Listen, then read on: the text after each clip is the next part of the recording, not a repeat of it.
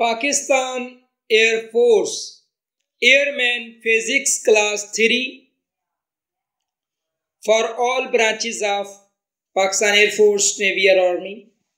First of all, द्रुद पाक, बिस्मिल्लाहिर्रहमानिर्रहीम, अल्लाहुम्मा सल्ली अला मुहम्मद व अला आलि मुहम्मदिन, कमा सल्लैता अला इब्राहीम व अला आलि इब्राहीम, इन्नका हमीदुम मजीद। अल्लाहुम्मा बारिक अला मुहम्मदिन वाला आली मुहम्मदिन कमा बारकता अला इब्राहिम वाला आली इब्राहिम इन्नका हमीदुम मजीद अस्सलाम वालेकुम name is Mohammad Faizan edu smart the best education platform की तरफ़ से एक और नई वीडियो के साथ हाजिर हूँ। आज की इस वीडियो में हम इंशाल्लाह पाकिस्तान एयरफोर्स एयरमैन के टेस्ट की जो सीरीज़ शुरू की है, उसकी क्लास नंबर थ्री देखेंगे। और फिज़िक्स के इम्पोर्टेंट फार्मूलाज आज की वीडियो में हम डिस्कस करेंगे, जो कि आपके पेपर में इनके रिलेटेड एम भी आ सकते हैं और इनके रिलेटेड आपको नुमेरिकल्स भी आ सकते हैं। चाहे आपने एयरफोर्स में एयरमैन के लिए अप्लाई किया या किसी भी कम्पिटिटिव एग्ज़ाम में, जहाँ पे पाकिस्तान ये जो फिज़िक्स का टेस्ट होता है तो ये वीडियो आपके लिए बहुत ही ज़्यादा इम्पोर्टेंट है, ठीक है? तो आपने ये वीडियो मस्ट देखनी है। तो इन आपको और भी वीडियोस मिलेंगी। ये पार्ट थ्री है क्लास थ्री है। इसी तरह और भी क्लासेस मैं बनाता जाऊँगा तो आपका उससे बहुत ज़्यादा फ़ायदा हो जाएगा। ठीक है? इससे पहले अगर अभी तक आपने मेरे इस channel edu smart the best education platform को सब्सक्राइब नहीं किया हुआ तो अभी सब्सक्राइब करें, साथ में लगे बेल आइकन को दबा दें, ताकि आपको मेरी आने वाली हर नई वीडियो की नोटिफिकेशन आसानी से मिल सके और आप मेरी हर वीडियो से मुस्तफ़ हो सकें। इससे, इसके अलावा एजो नॉलेज चैनल है, हमारा edu knowledge the best knowledge platform वो चैनल भी आपके लिए बहुत बेनिफिशियल साबित होगा। अगर आपने किसी भी कम्पिटिटिव एग्ज़ाम का टेस्ट देना है या इस्लाम के मुतालिक आपको कोई मालूम चाहिए, या जनरल नॉलेज या जॉब डिटेल्स और उसके बाद मोटिवेशनल वीडियोस उस चैनल पे अपलोड होती हैं सो आपने उस चैनल को भी सब्सक्राइब कर लेना है। लिंक आपको डिस्क्रिप्शन में मिल जाएगा।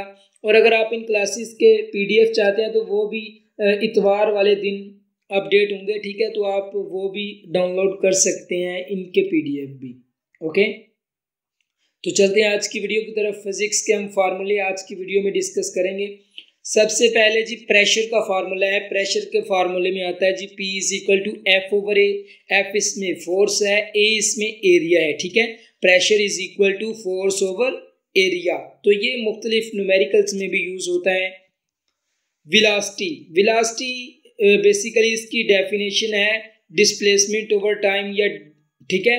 अगर तो स्पीड पूछा जाए तो वो डिस्टेंस ओवर टाइम होता है। अगर विलास्टी पूछा जाए तो वो डिस डिस्प्लेसमेंट ओवर टाइम होता है, ठीक है? ओके तो ये फार्मूला है विलास्टी का। एक्सेलरेशन एक्सेलरेशन बेसिकली इसकी डेफिनेशन है rate of change of velocity is called acceleration और इसी तरह एक्सेलरेशन का जो फार्मूला है, वो है वी ओवर टी यानी विलासिटी ऊपर और टाइम नीचे। तो प्रेशर का जो यूनिट है, वो न्यूटन पर मीटर स्क्वायर है। विलासिटी का जो यूनिट है, वो मीटर पर सेकंड है। और एक्सेलरेशन का मीटर पर सेकंड स्क्वायर है। ठीक है? ओके मोमेंटम मोमेंटम का जो हम ज़ाहिर करते हैं मोमेंटम को, वो बड़े पी से ज़ाहिर करते हैं और ये मैस और विलासिटी के आसले ज़रब को हम मोमेंटम कहते हैं, ठीक है? तो P is equal to M V का क्या मतलब है कि मोमेंटम बराबर है मैस ज़रबे विलासिटी ठीक है? मैस को विलासिटी से ज़रब दे देंगे तो मोमेंटम हमें हासिल होगा, ठीक है? अभी मैस का फार्मूला किलोग्राम है विलासिटी का फार्मूला मीटर पर सेकंड है तो मोमेंटम का फार जो यूनिट हो गया वो किलोग्राम मीटर पर सेकंड होगा, ठीक है? Impulse impulse I is equal to F T F इसमें क्या? इसमें एफ़ जो है वो फोर्स है और टी जो है वो, ये है टाइम है। तो एफ़ और टी के क्रॉस प्रोडक्ट को हम इम्पल्स बोलते हैं और यही इसकी डेफिनेशन है इम्पल्स की। So I is equal to F T impulse का फॉर्मूला है। फोर्स फोर्स हम सब जानते हैं कि फोर्स क्या है? किसी जिसम को धकेलने के लिए या रोकने के लिए जो चीज़ इस्तेमाल होती है, वो फोर्स है। और फोर्स का हमने ये सेकंड न्यूटन का जो सेकंड लॉ ऑफ़ मोशन है, उससे इसकी हमने ये ली है। डेरिवेशन ली है जिसमें फोर्स बराबर है मैस इनटू एक्सेलरेशन ठीक है? इसी तरह अगर हम इसी से एक्सेलरेशन मालूम करना चाहें तो एफ़ ओवर एम हो जाएगा और एक्सेलरेशन निकल आएगा। इसी तरह अगर हम मैस मालूम करना चाहें तो एफ़ ओवर ए हो जाएगा और इधर से मैस निकल आएगा। सो आपने डिफरेंट कंडीशंस में डिफरेंट तरह से ये फार्मूला यूज़ होता है। आपने इस फार्मूले फार्मूले को यूज़ करना सीख लेना है। अच्छे तरह से इसके लिए चाहे तो आप अपना कोई कॉपी पेंसिल लेके कोई ना कोई न्यूमेरिकल सॉल्व करें, ठीक है? इनके रिलेटेड इन फार्मूलाज के रिलेटेड और इनको देखने से याद नहीं होगा, इनको आप अपनी कॉपी पेंसिल पे लिख लेंगे ना पिछली वीडियो में मैंने यूनिट्स बताए हैं। अगर आप वो भी कॉपी पेंसिल पे लिख लें फिजिक्स के ये फार्मूलाज बताए हैं अगर ये भी कॉपी पेंसिल पे लिख लें तो आपके लिए बड़ा बेनिफिशियल हो जाएगा ये सब कुछ, ठीक है? ओके ये पावर है जी पावर हम इसे पावर बोलते हैं, ठीक है? तो पावर होता है डब्ल्यू ओवर टी ठीक है? डब्ल्यू ओवर टी ओके जी। बेसिकली पावर जो है, ये फार्मूले में क्या क्या है? वर्क ओवर टाइम टाइम के साथ जो वर्क किया जाए इसे हम पावर बोलते हैं ठीक है? वर्क डन जो है ठीक है? ये पावर होता है। ओके okay, वर्क का क्या फार्मूला है? डब्ल्यू हम वर्क को ज़ाहिर करते हैं डब्ल्यू से और ये डॉट प्रोडक्ट है फोर्स और डिस्प्लेसमेंट का। फोर्स और डिस्प्लेसमेंट को अगर हम ज़रब दे दें तो ये वर्क बनता है। वैसे इसका जो फार्मूला बनता है वो work is equal to F D cos theta है। लेकिन ज़्यादातर जो आपकी बुक्स में यूज़ हुआ है नाइन टेंथ की, वो यही यूज़ हुआ है work is equal to F D तो मैंने यही लिखा है। वैसे work is equal to F S भी यूज़ हो जाता है। एस भी हम डिस्प्लेसमेंट या डिस्टेंस के लिए यूज़ करते हैं एस ठीक है? डेंसिटी बहुत इंपॉर्टेंट फार्मूला है. D is equal to M over V अब देखिए मैंने V बड़ा लिखा है. अगर V छोटा होता है तो V छोटे का मतलब होता है विलासिटी लेकिन अगर V बड़ा हो तो इसका मतलब होता है वॉल्यूम ठीक है? तो डेंसिटी में हम मैस और वॉल्यूम का जो निकालते हैं, तकसीम करते हैं डिवाइड करते हैं मैस को वॉल्यूम से देन हमें डेंसिटी हासिल होती है.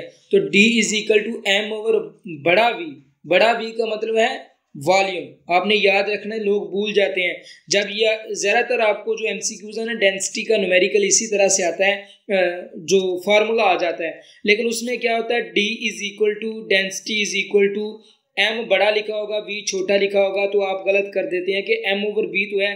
लेकिन जैसे ये फार्मूला मैंने इधर लिखा ना एम छोटा और बी जो वी है वो बड़ा है। ठीक है? तो ऐसे ही आपने याद करना कि अगर आपको एम सी क्यूज आ जाए आपके पेपर में देन आपने एम ओवर बड़ा बी लिखना है, छोटा बी नहीं लिखना। ठीक है? ओके जी। Power P over W over T ये मेरा ख्याल अभी हो गया, ठीक है? आगे चलते हैं। काइनेटिक एनर्जी जो है वो काइनेटिक एनर्जी बराबर होती है हाफ़ एम बी स्केयर के। और इसका एनर्जी कोई भी होगी ना, इसका जो यूनिट होगा, वो जाउल होगा, ये आपने हमेशा याद रखना, क्योंकि ज़्यादातर ज़्यादातर क्वेश्चन जो पूछा जाता है ना, आपके पेपर में वो ये होता है कि काइनेटिक एनर्जी या पोटेंशियल एनर्जी का यूनिट क्या है तो वो जाउल ही होगा एनर्जी जोन सी मर्ज़ी होगी, चाहे केमिकल एनर्जी हो विंड एनर्जी हो एनर्जी जो भी होगी ना इलास्टिक पोटेंशियल एनर्जी हो जाउल ही होगा उसका, जो यूनिट होगा, ये ज़्यादातर पूछा जाता है। तो जो काइनेटिक एनर्जी का फार्मूला है, वो है हाफ़ एम बी स्केयर ठीक है? इसी तरह पोटेंशियल एनर्जी का जो फार्मूला है, वो है M G H potential energy is equal to M G H और ये दोनों एनर्जीज आपस में एक दूसरे के बराबर होती हैं, ठीक है? अगर पोजिशन काइनेटिक एनर्जी का जो डेफिनेशन है, वो भी आपको आनी चाहिए। मसलन kinetic energy is equal to half M V square लेकिन इसकी डेफिनेशन है। Energy due to motion is equal to kinetic energy and energy due to position is equal to potential energy ठीक है? ओके और पोटेंशियल एनर्जी का जो ज़्यादातर M आपको आता है ना, वो ये आता है कि जो हथौड़े में एनर्जी है, वो कौन सी है? तो वो इलास्टिक पोटेंशियल एनर्जी है। जब एक बड़ा ही एक थोड़ा लोहे पे मारता है या किसी चीज़ पे मारता है तो उसमें कौन सी एनर्जी होती है? ज़्यादातर ये क्वेश्चन आपसे पूछा जाता है आपके पेपर में। तो ये इलास्टिक पोटेंशियल एनर्जी होती है, ठीक है? उसके बाद एफिशिएंसी ये बड़ा इंपॉर्टेंट है। इसका ज़्यादातर नोमेरिकल आता है आपके क्वेश्चन में, आपके पेपर में आता है। कि E is equal to output over input output भी दी होती है इनपुट भी दी होती है, आपने सिर्फ़ परसेंटेज एफिशिएंसी मालूम करनी होती है। परसेंटेज एफिशिएंसी मालूम करने का तरीका ये है कि आउटपुट को आप ऊपर रखेंगे इनपुट को आप नीचे रखेंगे और ज़रब दे देंगे सौ से। यहाँ पे मैंने सिर्फ़ एफिशिएंसी बताई हुई है, लेकिन परसेंटेज एफिशिएंसी का मतलब होता है कि output over input multiply hundred ठीक है? सौ से ज़रब भी दे देंगे तो आपका जो परसेंटेज एफिशिएंसी निकल आएगी, ठीक है? और एफिशिएंसी का कोई भी यूनिट नहीं होता, ये आपने हमेशा याद रखना है। ओके करंट करंट का यूनिट है I is equal to Q over T Q कहते हैं चार्जेस को टी कहते हैं टाइम को। तो एक सेकंड में जितने चार्जेस गुजरते हैं, वो इलेक्ट्रिक करंट है। बस ऐसा समझ लें आप। इजी वे में इजी लैंग्वेज में अगर समझना है तो ये है कि एक मिनट में या एक सेकंड में जितने चार्जेस गुजरते हैं, वो उस वायर का करंट है, वो उस चीज़ का करंट है, उसमें जो करंट है, ठीक है? इलेक्ट्रिक करंट है। इसी तरह ये अल्टरनेटिंग करंट होता है, ठीक है? और अल्टरनेटिंग करंट और डायरेक्ट करंट होता है। इसी तरह कन्वेंशनल करंट होता है और एक इलेक्ट्रिक करंट होता है। तो इसकी भी आपको डिफरेंस का पता होना चाहिए, आपने अपनी बुक्स में पढ़ा होगा, ठीक है? मैं अभी फार्मूलाज ही करा रहा हूँ, फिर वीडियो लंबी हो जाएगी अगर सब कुछ बताना शुरू हो गया। Potential difference potential difference volt से ज़ाहिर किया जाता है और इसे बड़े वी से ज़ाहिर करते हैं, ठीक है? तो इसी तरह वॉल्यूम को भी बड़े वी से ज़ाहिर करते हैं, लेकिन वो दूसरे फार्मूलाज में यूज़ होता है। ये आपके दसवीं के फार्मूलेज हैं जो अभी चल रहे हैं, ठीक है? तो डब्ल्यू ओवर क्यू है इसका फार्मूला ठीक है? तो इसी तरह escape velocity V escape two G R है। ये भी आपने देख लेना। मेरा ख्याल है ये आपकी बुक्स में नहीं है, लेकिन मैंने इसलिए बता दिया क्योंकि एक मरतबा स्केप इलास्टिक का जो क्वेश्चन है, वो आपके एयरमैन के टेस्ट में आ चुके हैं। जिन्होंने एफ़ एस पढ़ी हुई है, उनको ये हाँ ये फार्मूला बड़ी बड़ा इंपॉर्टेंट है। ये यहाँ पे आर लिखा गया लेकिन आर नहीं है, ठीक है?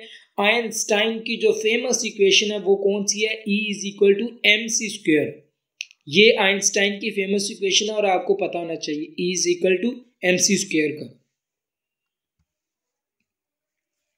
ओके ग्रेविटेशनल एक्सलरेशन जिसे हम जी से ज़ाहिर करते हैं, उसका फार्मूला भी आपको आना चाहिए जी एम बड़े वाले ओवर आर स्क्र छोटा, ठीक है? ये आपने जैसे मैंने इधर लिख दिया वैसे आपको पता होना चाहिए, आप फिर ही आपका एम ठीक होगा। ये नहीं कि आपके एम में जी छोटा आ गया एम छोटा आ गया, नीचे आर बड़ा आ गया तो आपने वो लगा दिया कि जी एम तो है तो फिर आपका क्वेश्चन सही नहीं होगा। जैसे मैंने इधर लिखा है, आपको बिल्कुल वैसे ही रटना पड़ेगा। Okay okay. ये इक्वेशन जो मोशंस की इक्वेशन है, वो मैंने इधर लिखी है तो आपको पहले भी आती होंगी ये मोशंस की इक्वेशन जो है। V is equal to U plus A T या S is equal to U two plus U T plus half A T square या V square is equal to U square plus two A S ठीक है? तो ये आपको पता होना चाहिए। आपने वैसे वी आई और वी एफ़ से पढ़ी है तो वी जो है वो वी आई को ज़ाहिर करता है, यानी कि इनिशियल विलासिटी को यू जो है वो फाइनल विलासिटी को ज़ाहिर करता है। आपकी बुक के मुताबिक V I is equal to V F plus A T पहली equation S is equal to V sorry इधर मेरा ख्याल है वी आना था। V I T plus half A T square V I square plus V F square plus two A S ठीक है? तो ऐसे फार्मूले आई थिंक आपने याद किए होंगे तो ये आपने देख लेने अगर कोई गलती हुई तो मुझे बता दीजिएगा। तो ये आपके फार्मूलेज थे। Last but not the least द्रुद पाक बिस्मिल्लाहिर्रहमानिर्रहीम आप भी मेरे साथ वैसे पढ़ते हैं या नहीं पढ़ते? अगर नहीं पढ़ते तो पढ़ा करें यार द्रुद पाक को पढ़ा करें। अच्छी चीज़ है ये। नहीं आपको नुकसान होता द्रुद पाक पढ़ने से। पता है आपको द्रुद पाक पढ़ने की क्या फजीलत है? जब बंदा एक मरतबा द्रुद पाक पढ़ता है तो अल्लाह ताला उसके दस गुनाह माफ़ कर देता है, उसकी नामा माल में दस नेकियाँ लिख देता है, उस पर दस रहमतें नाजर करता है, ठीक है? और भी मेरा ख्याल है कुछ था इसकी फजीलत में, लेकिन अभी मुझे यही याद है। हाँ उसके दस दर्जात बुलंद फरमा देता है, और दर्जात जन्नतियों के बुलंद होते हैं। इसका मतलब जो द्रुद पाक पढ़ता है, उसके दर्जात बुलंद होते रहेंगे जन्नत में। तो अगर जन्नत चाहिए तो पढ़ो दरुद पाक, हजूर पाक पर। सल्ली अला मुहम्मद व अला आलि मुहम्मद कमा अला इब्राहीम व अला आलि इब्राहीम हमीदुम मजीद। अल्लाहुम्मा बारिक अला मुहम्मद व अला आलि मुहम्मद कमा बारकता अला इब्राहीम व अला आलि इब्राहीम इन्नका हमीदुम मजीद। तो कैंडिडेट्स ये थी हमारी आज की वीडियो जिसमें हमने डिस्कस किया class number three of physics जिसमें हमने डिफरेंट फार्मूलेज डिस्कस किए जो कि आपको न्यूमेरिकल्स में भी यूज़ हो सकते हैं और डिफरेंट कैटेगरीज में। अगर आपको इनका पीडीएफ चाहिए तो फिर आप डिस्क्रिप्शन में जाके इसका लिंक मिल जाएगा पीडीएफ का, आप वो भी डाउनलोड कर सकते हैं। और इसी तरह आपने अभी वीडियो को शेयर करना है लाइक करना, अच्छे से कमेंट करना है तो चलते हैं, फिर मिलेंगे इंशाल्लाह अपनी अगली वीडियो में, तब तक के लिए अपना बहुत सारा ख्याल रखें। अल्लाह हाफिज़। अस्सलाम वालेकुम